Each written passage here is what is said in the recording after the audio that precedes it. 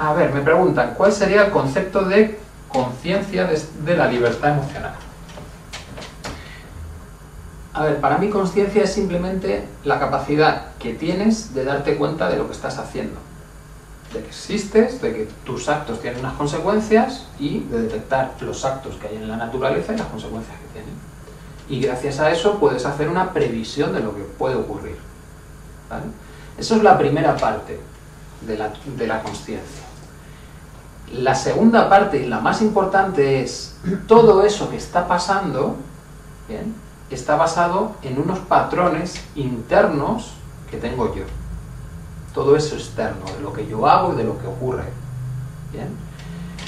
En la primera parte de la toma de conciencia, claro, nos volcamos en el exterior. Pretendemos cambiar todas las cosas en el exterior y generamos una tecnología para cambiar todo ese exterior.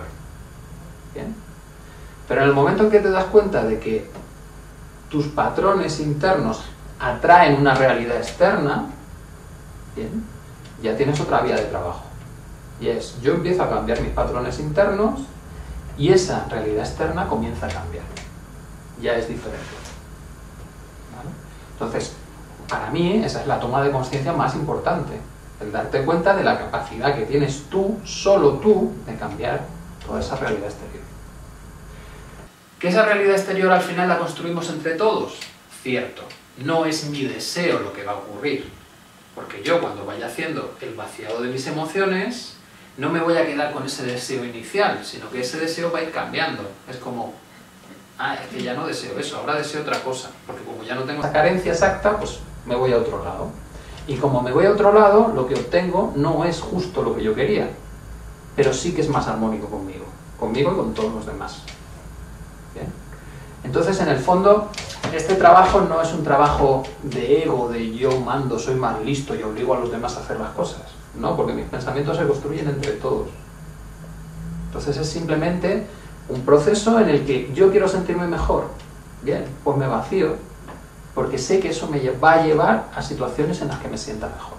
Vas libre, es lo que te busco yo siempre. Sí. Siempre te que te vas quitando algo que te está como, como obligando, limitando, presionando, pues vas teniendo más libertad, más libertad. Vas encontrando otra cosa, te lo vas quitando, más libertad, más libertad.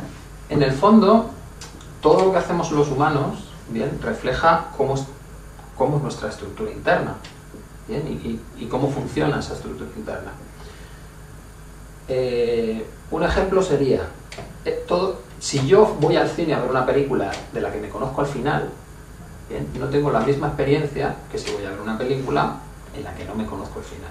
De hecho, hasta lo que valoro son los giros del guion, ¿no? Esos, esas sorpresas que te da el guion. ¡Ay, esto no me lo esperaba! Bien, entonces sales contento de la película. Pero si desde el minuto 5 dices, vale, este es el no sé quién, este hace no sé cuánto, ta, ta, y al final la película lo cumple todo, como, qué aburrido. Pues eso precisamente sería la manera nuestra de trabajar.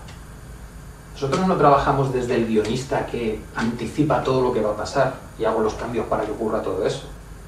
No, nosotros vamos viendo un poquito por delante cuáles son los patrones que tenemos activos y vamos soltándolos. Entonces la película nos va haciendo giros y nos lleva a otros sitios. ¿bien? Entonces tenemos que explorar todo eso. ¡Buah, qué sorprendente! ¿Qué, qué cosas nuevas puedo tener por aquí? ¿bien? Y al final, gracias a este proceso, estás en una película continua de, de sorpresas. No tanto sobresalto como sorpresas agradables de, anda, pues esto es nuevo, pues me gusta, voy a explorarlo. ¿Eh? Porque si lo supiésemos todo, pues al final, ¿para qué lo vives? Si ya te sabes lo que va a pasar. Bueno, y una última pregunta, ya nos ponemos. Nos dicen, si quitas patrones, ¿con qué te quedas? Con libertad. Con la libertad. Tú decides qué quieres hacer. Un patrón es el que decide por ti cuáles son tus actos. Un patrón sería pues el destino, típico este de los griegos en sus tragedias, ¿no? que hagas lo que hagas al final te alcanza.